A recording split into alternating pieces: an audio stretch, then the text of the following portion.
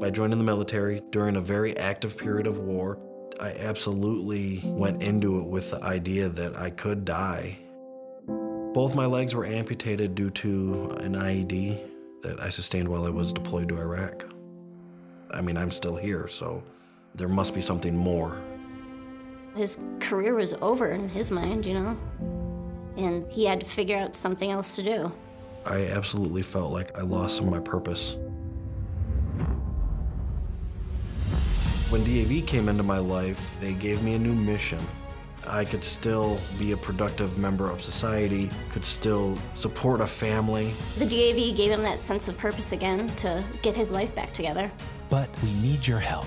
Call this number and give just 63 cents a day, just $19 a month, and help a disabled veteran right now. The DAV is absolutely making a difference. They were giving me something that I could believe in again, something that I could be proud of. Get this official DAV blanket when you call and give just $19 a month right now to help our sons and daughters recover from the wounds of war. When I see him with our son, it makes me feel just blessed. The Disabled American Veterans made me feel useful again. Your gift, no matter how small, can help a disabled veteran right now. There are so many more disabled veterans who still need your support.